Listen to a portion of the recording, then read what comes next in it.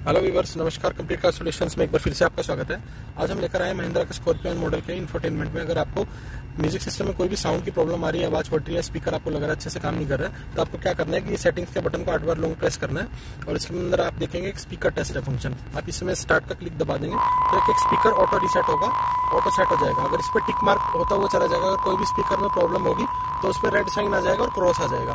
तो इससे आपको पता चल जा सकता है कि स्पीकर का जो सर्किट है वो बिल्कुल ठीक है। और स्पीकर से ही काम कर रहे हैं। और अगर आपको फिर भी अगर साउंड की प्रॉब्लम लग रही है तो आप कोई दूसरा गाना एक बार चेंज करके देख लीजिए, या फिर इसके अंदर म्यूज़िक सिस्टम में आके ऑडियो की जो साउंड है, इसमें भी आप इक्विलाइजर्स को चेक कर सकते हैं। इसमें भी रिसेट का फ़ंक्शन होता है। तो आप इसे भी सेट करके अपने म्यूज़िक सिस्टम को ठीक कर सकते हैं, आवाज़ को ठीक कर सकते हैं, या कोई गाने में प्रॉब्लम आ रही है, आप उसको चेक कर सकते हैं। Thanks for watching complete car solution please like share and subscribe to our channels जय हिंद जय भारत